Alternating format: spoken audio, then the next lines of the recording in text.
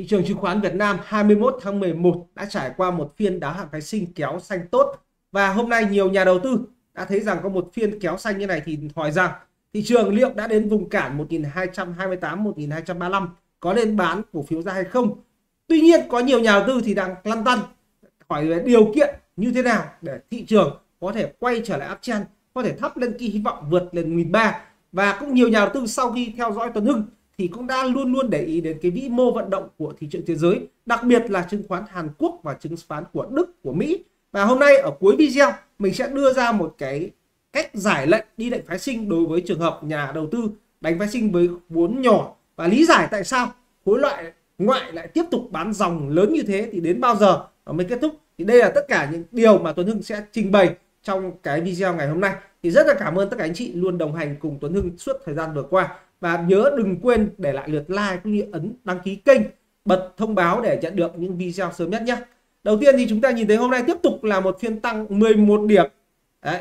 hôm nay tăng 11,79 điểm hôm qua tăng 11,3 điểm. Độ rộng thị trường thì cũng tương đương. Khi hôm qua có 190 mã tăng xanh từ 1 đến 3 phần trăm thì hôm nay chúng ta cũng tương đương có đến 210 mã tăng xanh điểm với số điểm tăng từ 0 đến 3 phần trăm do đó trong đó chúng ta thấy rằng điểm tích cực đó là một số dòng dùng từ hưởng lợi. Hưởng lợi ở đây là những dòng hưởng lợi khi chỉ số đô la Mỹ vẫn tiếp tục tăng. Hay còn nói cái khác là cái nhóm ngành mà tăng sau thì nó vẫn tiếp tục duy trì được cái đà sức tăng lên. Vậy chúng ta nhìn thấy đây là một tín hiệu tích cực cho thấy rằng là thị trường dòng tiền nó vẫn chưa thoát ra hết khỏi những cái nhóm ngành uh, mang tính chất là hưởng lợi. Có nghĩa nó cần một chút thời gian nữa để có thể là để phân phối cũng có thể là kéo tăng vượt đỉnh thì chúng ta sẽ theo dõi rất kỹ trong hai video gần tới. Thì chúng ta nhìn thấy ít nhất là cái dấu hiệu này cho thấy rằng chúng ta đang có cơ hội đứng trước một cái pha phục hồi nó lâu hơn, bền hơn, xa hơn hay không thì chúng ta hãy chưa dám chắc. Bởi vì như hôm nay mình vẫn giữ quan điểm rằng thị trường chỉ phục hồi lên vùng 1225 cho đến 1233 còn có thể nó phục hồi 1240 nhưng sẽ rất khó. Và ba cái mốc này mình nghĩ rằng là sẽ khá khó để VNX vượt qua cả ba cái mốc này do đó thì cá nhân mình dân giữ nguyên cái tư tưởng rằng là thị trường đợt này chỉ phù hợp đánh lướt t cộng. Do đó thì nếu hôm nay này hoặc ngày mai này à, thị trường có những pha kéo mạnh lên mà dòng tiền không tham gia vào thì nhà đầu tư có thể chốt lãi t cộng hoặc là bán hạ tỷ trọng trung bình giá các thứ thì chúng ta lên bán ra. Mình vẫn giữ quan điểm là hồi nhịp này vẫn là để bán. Còn có thể chúng ta nhìn thấy rằng là thị trường thì sẽ bền hơn. Chúng ta nhìn được lý do tại sao thị trường bền hơn thì rất là dễ thôi ở đây chúng ta có một cái ờ, gọi là chart đồ thị của chứng khoán Hàn Quốc. Hàn Quốc mình lại tiếp tục dở cái chart đồ thị 30 phút ra. Chúng ta nhìn thấy Hàn Quốc nó vẫn đang cố chưa đủ. Nghĩa là Hàn Quốc đi trước chúng ta đâu đó khoảng tầm uh, hai phiên. Chúng ta nhìn thấy rõ ràng chúng ta đang ở khu vực này rồi. Hôm nay có một phiên tăng rất giống hôm qua mình nói đúng không? Đây giống phiên ờ, ngày 18 tháng 11 của Hàn Quốc. Đấy và mình nghĩ là ngày thứ sáu và thứ hai thì Việt Nam cũng sẽ có xu hướng đi ngang hoặc là tăng rất là nhẹ lên chứ không có kiểu tăng vượt mạnh lên được nữa. Vậy thì chúng ta nhìn thấy rằng là nếu ở đồ thị chặt ngày à, chúng ta thấy có đã đang ở đến một cái cản rồi. Cái cản chính là cái gap này chưa được mở ra. Và cái cản này thì mình không biết rằng rằng nó có vượt được không. Nếu thực sự vượt được thì sẽ cho chúng ta kỳ vọng lên vùng cao hơn 1240 nhưng nếu là nó đi ngang luôn để vùng cản này nó không vượt được cái cản này. Thì rõ ràng là chúng ta có thể sẽ phải kết thúc cái nhịp hồi này ở vị trí quanh quanh 1230 1233 gì đấy. Đấy mình nghĩ là như vậy thì nếu mà ngày mai thị trường mở một cái gap cái gap không cần lớn chỉ cần mở một cái gap tăng khoảng 3 điểm và sau đó thì duy trì được cái gap đấy thì có thể thị trường sẽ cho chúng ta một cơ hội rằng là à nó sẽ lên một vùng trên cao hơn như này. Đấy, và chúng ta sẽ thực sự nguy hiểm nếu nó mở một cái gap tiếp rơi xuống đây mở gap và rơi cũng bằng gap ấy thì quả này chắc là end game luôn. Điều đó chúng ta sẽ phải theo dõi rất là kỹ trong ngày mai còn nếu mà ngày mai thực sự không phải là một pha tạo gap thì là một pha tăng điểm bình thường thôi. Thì mình nghĩ rằng là cái quá trình tăng của VN-Index nó sẽ không quá dài. À, vậy thì nếu nói qua về cái đồ thị ngày của chúng ta để chúng ta biết được rằng là mình vẫn luôn giữ nguyên một cái quan điểm từ trước giờ đúng không? Phục hồi phục hồi đến vùng 1225 1233 hoặc 1240 đấy là ba cái mốc mà mình nghĩ rằng là thị trường sẽ phục hồi lên. Và cái kèo 1240 mình nghĩ là không không dễ đâu. Có khả năng sẽ hơi khó tuy nhiên rằng là nếu mà chúng ta nhìn thấy hôm nay là thứ năm rồi, ngày thứ năm đáo hạn rất êm đềm, thực sự là rất là tốt. Nhưng ngày mai, chúng ta chỉ còn một phiên nữa là kết thúc chết tuần. Và chúng ta nhìn xem cái cửa tăng trả lời câu hỏi rằng là điều kiện nào thì uptrend trở lại sử dụng trên chart tuần. Thì chúng ta có thể nhìn thấy, đây mình dở ra, cái kê đến tuần trước, thị trường giảm 34 điểm, chúng ta nhìn ở đây. Hiện giờ tính đến thời điểm hiện tại là chúng ta đã phục hồi được 9,76 điểm. Cứ coi là 10 điểm đi. Vậy là chúng ta đang phục hồi được 1 phần 3 cây nến giảm trước đó. Đúng không? Và hiện giờ vẫn đang nằm ở dưới MA 200 và cả MA 20 của chat tuần. Mình đang nói đến chat tuần. Và chat tuần thì chúng ta đây một phản xạ rất là bình thường thôi. Chạm mặt mây tăng lên. Mình nghĩ rằng đây là một à, hiện tượng bình thường khi chúng ta đã rơi ra ngoài cái hỗ trợ. Tuy nhiên để điều kiện mà chúng ta có một uptrend trở lại thứ nhất, đó là ít nhất điều kiện cần đầu tiên phải có đã nhé đó là chúng ta phải vượt được trên 2 phần 3 cây đế đỏ ngày này. Có nghĩa là cây đế đỏ này giảm 34 điểm, hiện giờ chúng ta mới được 10 điểm. Chúng ta muốn có cơ hội uptrend trở lại, ít nhất là đầu tiên là chúng ta phải vượt ít nhất là 2 phần 3 còn nếu mà không vượt được 2 phần 3 đã là khó rồi. Đấy, như vậy thì chúng ta mới được 10 điểm thôi. Để vượt được 2 phần 3 thì chúng ta còn thiếu bao nhiêu điểm? 34 2 phần 3 và 34 là 22 điểm đúng không? Vậy thì ngày mai phải tăng 2 12 điểm. Ít nhất là tăng 12 điểm nữa. Liệu chúng ta có làm được điều đấy hay không? Hơi khó đúng không? Ngày mai phải tăng 12 điểm thì sẽ cho chúng ta cơ hội rằng là ok uptrend trở lại. Như thế nào? Như thế này đấy mình nói ví dụ như này này. Đấy, giống cái này. Phiên này giảm 47 điểm. Tuần này tăng 16 hai tuần tăng ngược hết lại thì chúng ta bắt đầu ok xem có một cơ hội uptrend để đi lên vùng 1.300, 1.400 gì đấy. Ok đồng ý ở đấy là kỳ vọng thôi. Đấy mình nói là điều kiện nhé chứ mình không bảo rằng nó sẽ như thế nhé. Tất nhiên mình thấy là cái cửa rất là kém. Thứ hai để để được điều kiện đó chúng ta phải thấy rằng là phải có một cái um, dòng tiền lớn. Nghĩa là để tăng được trở lại chúng ta phải nhìn cái dòng tiền nó lớn hơn cái quá trình giảm điểm trước đó. Ví dụ cái đến hai cái đến này. Tôi nhìn thấy hai cái đến này khối lượng phải lớn hơn cái quá trình giảm điểm trước đó. Đấy. Điều đó thì chắc chắn là chưa xảy ra. Đấy. Ít nhất là cho đến tuần sau đấy chúng ta sẽ cùng xem lại. Thì đấy là cái mà mình nhìn nhận rằng là đến thời điểm hiện tại chúng ta vẫn chưa có những cái điều kiện để cho sự đảo chiều. Trong đó thì chúng ta nhìn thấy cái dấu hiệu gọi là yếu kém thì nó lại còn cao hơn. Chúng ta nhìn thấy rõ ràng rằng là ở chặt tuần khi mà 20 nó đang hướng xuống rồi. Đấy. đi ngang ba phiên này hướng xuống này. Đấy, hướng xuống. Mà cái chặt của chặt tuần này chúng ta nhìn thấy rằng là cái, cái mép biên này nó cũng đang mở xuống. Rõ ràng thì mình nhìn thấy rằng là cái cửa xuống vẫn đang cao hơn cửa lên Đấy, do đó mình vẫn nhận định rằng cái nhịp hồi này chỉ để lướt lắc tái cơ cấu thôi Đấy.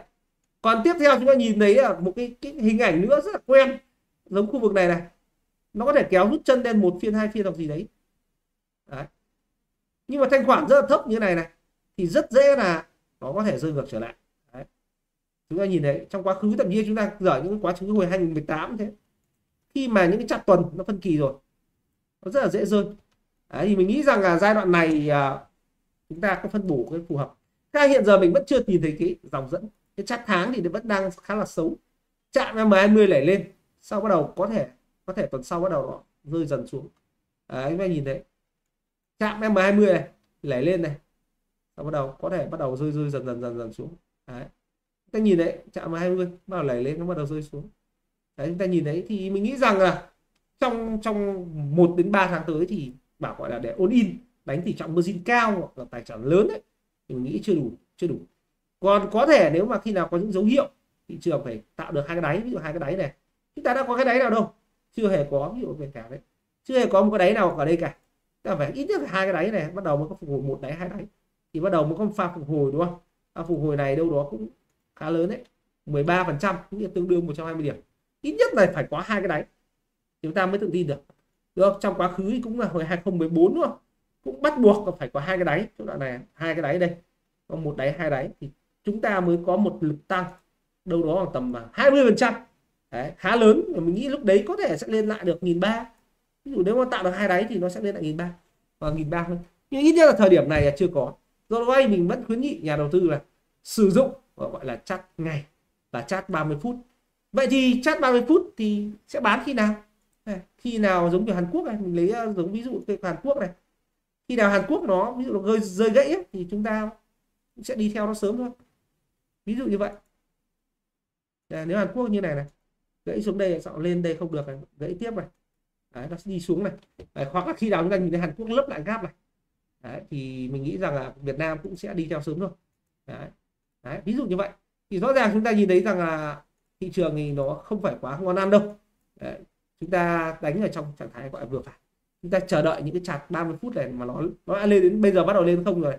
Khi nào mà nó như này này đấy, nó sẽ có thể dướn thêm. Hôm nay đến đây rồi này có thể nhúng xuống lên một lần nữa. Khi bắt đầu như này này tạo hai đỉnh như này này đấy là bắt đầu chúng ta phải chuồn thôi.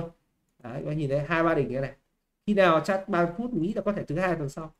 Như này này đấy, thì bắt đầu là là chuồn chuồn thôi. Đấy có nhìn đấy còn nếu khỏe lên được nữa thì thì không nói, nhưng mà ít nhất là nó tạo phân kỳ này này. Là bắt đầu chúng ta nhìn thấy phân kỳ âm này, đúng không?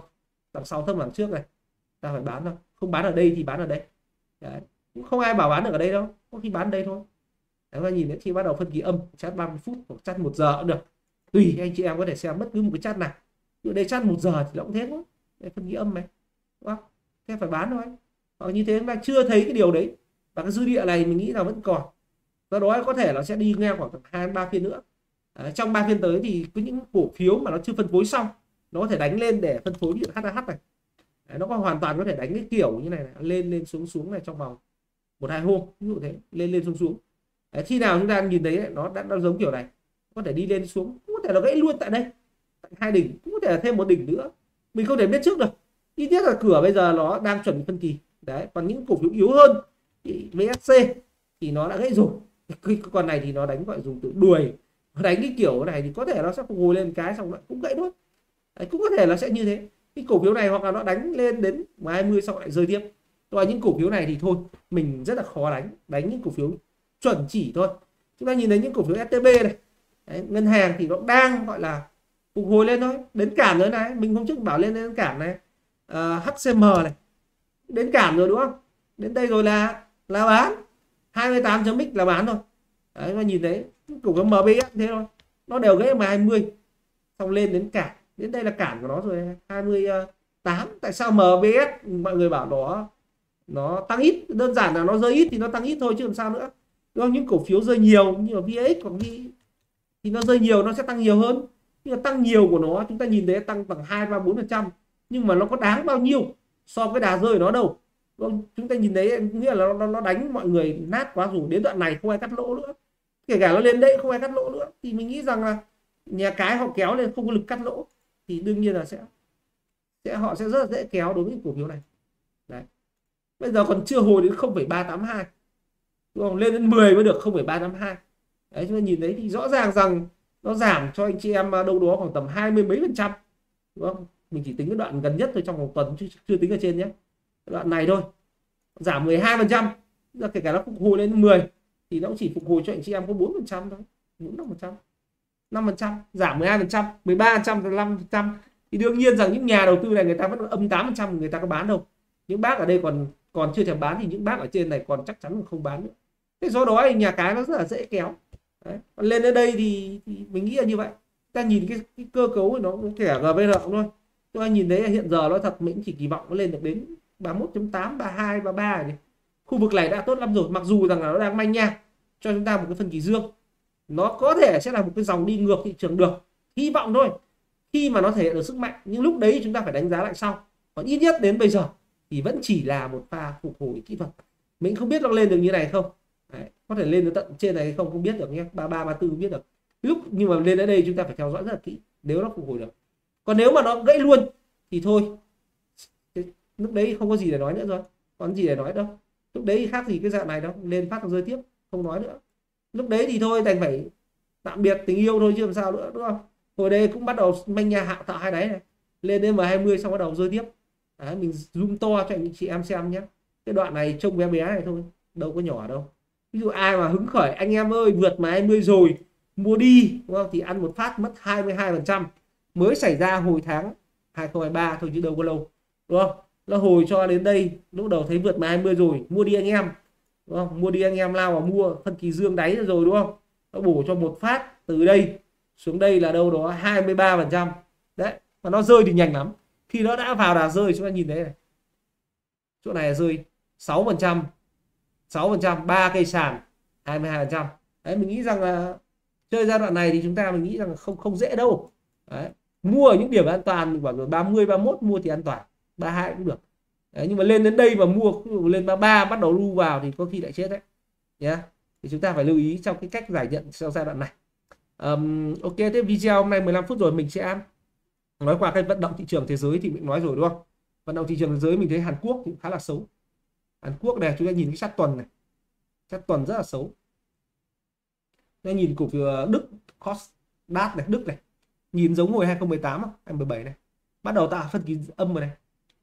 Đấy, phân kỳ âm chắc chắc tuần luôn nhé chắc tuần này. Có thể nó sẽ vẫn móc lên một cái đỉnh nữa. Mình nghĩ là có thể Đức nó vẫn còn tạo một cái đỉnh nữa lên đây. Đấy, mình đang xem chắc tuần. Cũng vẫn có thể là Đức nó sẽ tạo một cái đỉnh nữa lên được. Đấy. lên đây xong bắt đầu nó mới thực sự rơi. Đấy, chúng ta có thể nó sẽ như này. Thì cổ phiếu thị trường có thể một hai tuần nữa vẫn có khi nó dướn lên một nhịp. Nhưng mà xu hướng của chúng ta nhìn thấy là phân kỳ âm rất là rõ ràng. Đấy, nó mới đến đoạn này thôi này. Mình nghĩ mới đến đây rồi. Đấy, chạm 20 này. Nó có thể phục hồi lên mà chúng ta nhìn thấy một cây đến một tuần. Rõ ràng trong vòng một tháng tới có thể là nó tăng cả hai ba tuần nữa. Cứ nhằng nhằng nhằng nhằng đây. Xong bắt đầu nó mới đủ thì lúc đấy rằng là mọi chuyện nó rất là khác. Đúng không? Đấy nghĩ là trong vòng một tháng tới thì lúc nào chúng ta cũng phải trong cái tinh thần gọi sỏ sẵn chắp muốc. Có biến là chặn. Đấy chúng ta nhìn thấy chúng ta nhìn thấy Hàn Quốc đúng không? Hàn Quốc thì 2021 nó đã phát đi tín hiệu từ tận tháng 8 năm 2021 đấy, chúng ta nhìn thấy tháng 8 năm 2021 nó đã bắt đầu phát đi tín hiệu rồi thì trong đó đến tháng 4 năm 2022 nghĩa là chúng ta cách khoảng tầm 3 tháng mới bắt đầu gọi là tín hiệu đúng không Hàn Quốc thì nó đã để nó đã đổ từ rất là lâu rồi đúng không? Tôi nhìn thấy tạo hai cái đỉnh ở đây này. Hàn Quốc bây giờ đến đoạn này rồi này. Đấy khoảng tháng 7 năm 2018 bắt đầu nó mới rồi nó đang giống đoạn này này. Đấy, nó giống đoạn này này. Gãy này xong lên này, có thể nó phục hồi lên. Mà 20 nó vẫn phục hồi lên một chút. Đúng không? Pha phục hồi này có thể kéo dài một tuần, hai tuần, ba tuần đấy xong bắt đầu tiếp tục rơi. Đấy chúng ta nhìn đấy. Nó đang phục hồi gãy ba đỉnh rõ ràng rồi, nhìn gì đó. Thì chúng ta nhìn thấy VN Index thì chúng ta cũng có đẹp đẽ gì đâu đúng không index thì nhìn lồ lộ ra ba cái đỉnh to tướng ở đây còn gì nữa giờ chắc tuần nó nhìn rõ ràng ba cái đỉnh ở đây ông nào còn kêu không giống nữa ba cái đỉnh này trong đỉnh khối lượng còn giảm dần nữa khối lượng còn giảm dần đi Đấy, phân kỳ tùm lum cái này một đỉnh, hai đỉnh, ba đỉnh, khối lượng cũng bị phân kỳ. Nhìn thấy khi khối lượng phân kỳ này. Đấy. Thế mình nói rằng là giai đoạn này đánh thì vẫn là phục vụ khách hàng. Gọi đánh ít hoặc là mình cũng vừa mở cái zoom khái sinh ấy. Hôm nay có một cái lệnh đi, rất là ok. Với mình đánh lệnh long, mình bảo cắt rồi. Mình mình bán bán cắt rồi, mình chuẩn bị sọt tại thôi. Khi vào mà vn index lên đến ờ, khoảng tầm ờ, khoảng tầm ờ, đâu nhỉ? Mình xem vn index nó lên đến đâu. Nếu mà lên khoảng tầm khoảng tầm đây đây đoạn đoạn này này khoảng tám bảy tám chín mươi này chắc là cũng canh sọt thôi. Đấy, 87 90 là chắc đoạn đoạn này cũng canh canh sọt. Đấy canh đoạn canh sọt xuống thôi. Ví dụ thế còn giỏi nó có thể lên đến 99 nhưng mà mình không biết rằng nếu mà chúng ta đánh ở đây có thể lên 99 có thể sọt này. Mà từ đây đến đây mình nghĩ tăng 20 điểm nữa là khó lắm. Cái cửa tăng bây giờ 1281 rồi. Tăng đến khoảng tầm 8 8 năm 9 7 8 điểm nữa đã là giỏi lắm rồi. Thì lúc đấy bản thân VN Index của chúng ta đúng không? Cũng đã đạt được cái target mà mình đã ghi ra ở trong cái nhóm khách hàng. Đó là đến cái vùng 1233 đến 1235 nghĩ đến vùng đấy là bắt đầu ngắc ngứ rồi. Đấy nghĩ là cái cửa tăng như thế chúng ta nhìn thấy Fibonacci này đo rất là rõ ràng luôn rất là dễ sử dụng đúng không? Đấy. tính từ đây rơi xuống này xuống đây. Từ đỉnh này xuống đây này. Đấy, lên được 1233 giỏi lắm mà lên 7 hoặc 1240 là căng. Đấy, thì mình nghĩ rằng từ đây là đang 28 đến đến 38 đã là 10 điểm nữa rồi. Đấy, 10 12 điểm nữa thì mình nghĩ phái sinh nó cũng chỉ tầm tầm ấy thôi. Phái sinh bây giờ đang 81 thì ví dụ lên khoảng tầm 10 điểm nữa đi. Mình giờ chắc 5 phút tầm 30 phút thì chúng ta nhìn nó dễ đi. Chat bao nhiêu phút không quan trọng bằng việc chúng ta đánh như thế nào đúng không? Ví dụ lên đến khoảng à, 87 hoặc là giỏi lắm lên cái gáp này ở đấy cuối gáp này 92 này tăng 10 điểm nữa là chúng ta canh quanh khoảng 87 92 có thể hai vùng này, này theo dõi để chúng ta có thể mở sọt. Đấy, mình nghĩ là như vậy. Hiện giờ thì ít nhất là nó đang tạo mô hình vai đầu vai rồi. Hôm nay mình có nhắn trong nhóm thì đã tăng đấy là cái nhận định của mình về thị trường chung và phái sinh. Hôm nay thì cũng hơi nhiều cái nói lan man thì mình sẽ chỉ cho anh chị em cách cách giải lệnh phái sinh của mình. Đó là thường thì mình sẽ đánh một lệnh uh, khoảng tầm uh, ví dụ hôm nay này mình mở một lệnh ví dụ nhá ví dụ luôn. Cái giai đoạn uh, khoảng tầm uh, giai đoạn này đi. Ví dụ luôn mà thực tế ví dụ nếu mà có phạm bán thì mình sẽ sọt từ một canh một lệnh ở khoảng tầm 87 này. Đấy, mình sẽ canh ở khu vực này. Là khu vực gọi là 87 này, mình sẽ sọt một lệnh ở đây. Nhưng mình sẽ đặt cái stop loss, một cái lệnh nữa ở khoảng tầm 94 nếu mà thị trường gọi là nó lên đến 87 xong nó rơi luôn, mình sẽ đánh hai lệnh mà nó tạo đỉnh ở đây, nó rơi luôn. Thì mình sẽ có thể canh, sọt gia tăng hoặc là không cần sọt gia tăng, giữ một lệnh thôi. Phải ăn ít thì nó lâu, đúng không? an tâm mình không sọt nữa, có sọt giữ một lệnh cho đến tận cùng và lệnh này mình sẽ giữ rất là lâu bởi vì xu thế của nó xác định luôn là rơi rất là mạnh. Đấy, nhiều hôm mà mình đánh một lệnh mình ăn 60 điểm. Nhưng nếu mà chẳng may trường hợp nó không rơi luôn như này mà nó nó lỗ ví dụ lên đây này mà nó lên đây thì mình sẽ xu hướng cắt lỗ và mình sẽ chờ ở một cái điểm cao hơn ví dụ cao lên đây. Hình ba ví dụ thế. Khi nào nó tạo ví dụ nếu mà chẳng may mình cắt lỗ ở đây cắt lỗ ở khu vực này khoảng tầm mất khoảng 3 điểm đi sọt 87 cắt 90 đúng không? Ví dụ cắt ở 90 thì uh, nếu mà cắt 90 thì mình sẽ đặt một cái lệnh cao hơn nữa ở khoảng tầm 97 thế đến 98 mình sẽ đặt canh ở khu vực này. Nghìn ba thì nó thường không lên đến nghìn ba mình sẽ canh ở khoảng tầm 98 đấy 98 chín mình sẽ canh sọt lại một cái lệnh ở đây. Nghĩa là chúng ta xác định rằng là thua thì thua ba lệnh. Đấy nghĩa là mình sẽ cách cách ra một đoạn nữa để chúng ta có thể đánh. Còn nếu mà thực sự rằng nó nó ăn luôn thì thôi mình không sọt đuổi nữa. Có hai hợp đồng mình chỉ đánh một hợp đồng thôi. Thì đấy đấy cách mà mình luôn luôn gọi là phòng thủ nghĩa là xác định tinh thần rất là thoải mái. Có thì ăn chứ không phải cố lúc nào cũng có. Hai lệnh là phải đánh đủ cả hai hợp đồng. Đấy cái đầu tiên thứ hai mà mình chia sẻ. Còn lý do mà tại sao khối ngoại bán dòng đến bao giờ thì mình cũng đã chia sẻ ở đây có hai cái slide khá ngắn thôi.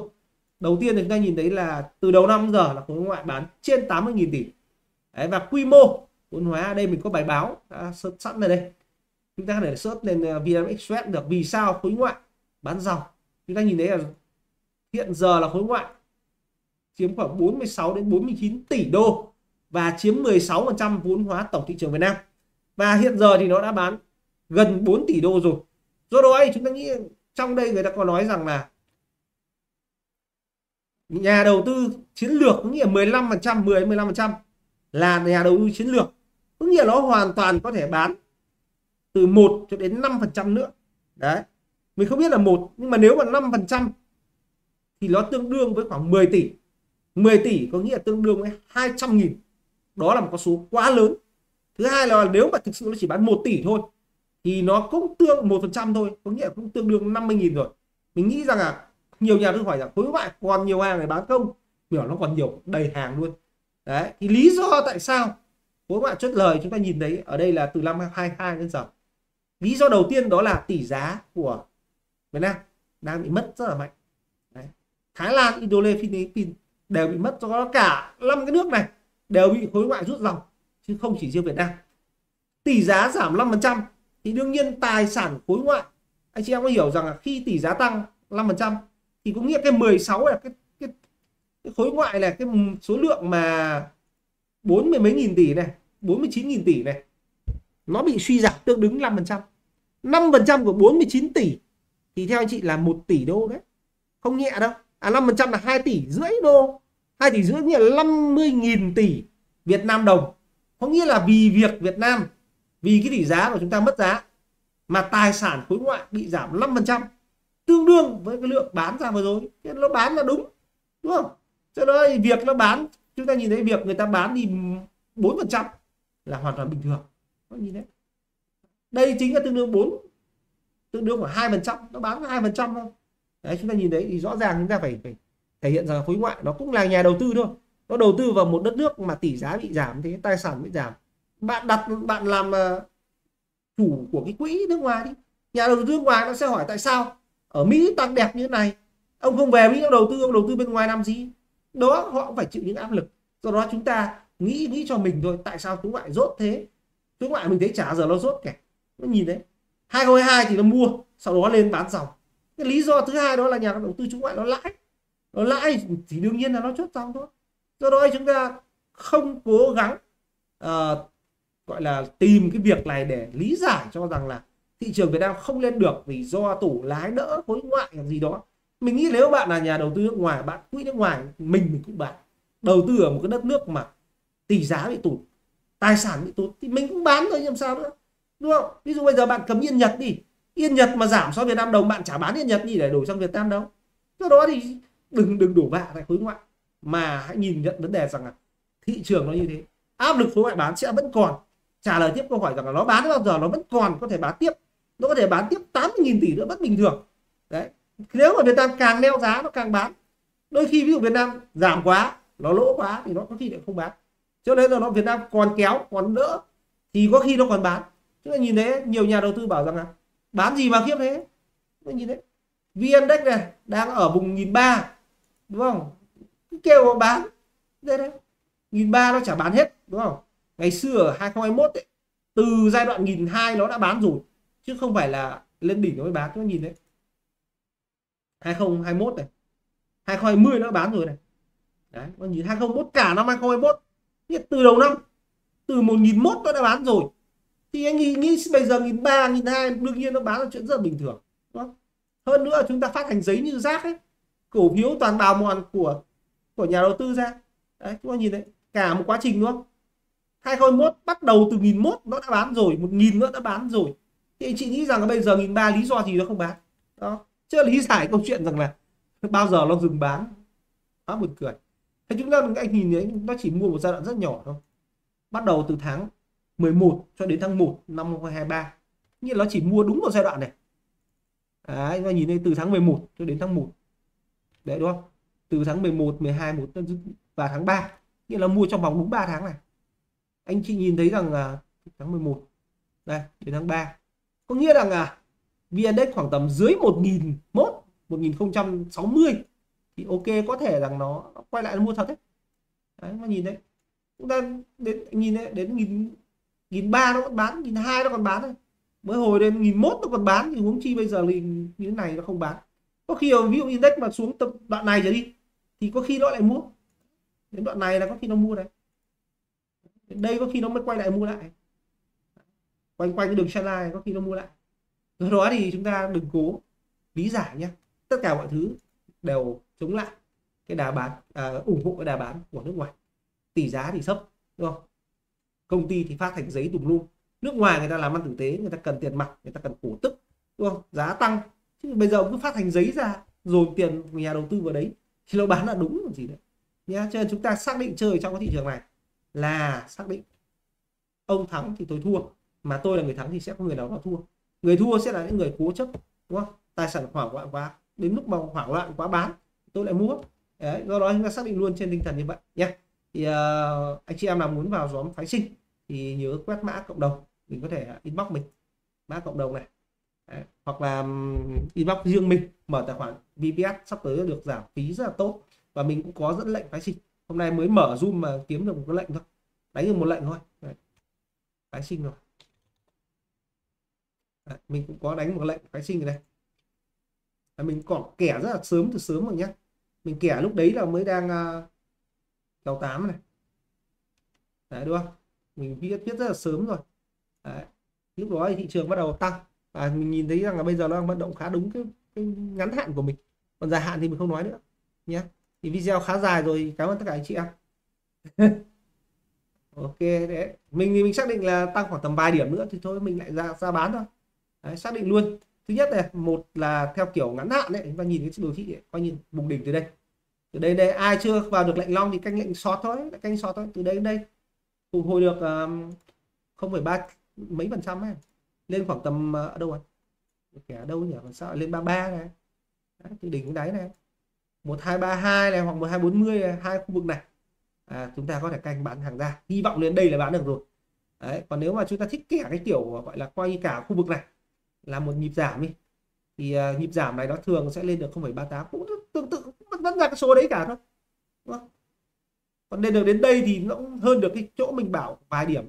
Nói chung là cái khu vực mà 1233 cho đến 1245 10 10 điểm đấy chúng ta vã hàng là mà bán thôi. Đấy, còn cơ hội để nó uptrend được thì mình chưa thấy. Đấy, nhé không không long được thì thôi sọt mình cũng bảo luôn anh em rồi đấy. Báo anh em rồi báo nó đóng luôn mình đóng sớm rồi đấy. Mình đóng từ 78 đóng long. Ăn ăn ngắn ngắn thôi ăn một phát từ à, 65 lên tầm 78 76 78 tôi bán. Đấy, đến đoạn này bán rồi đến đoạn này thôi kệ chó chạy thôi.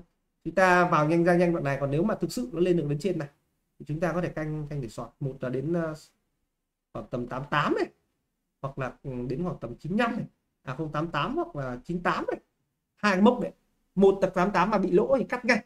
Cắt sớm khoảng lỗ hai ba điểm thôi. Còn nếu mà 98 thì chúng ta có thể gồng lên lâu hơn nhé yeah ok cảm ơn cả nhà. Mình xin phép dừng video tại đây.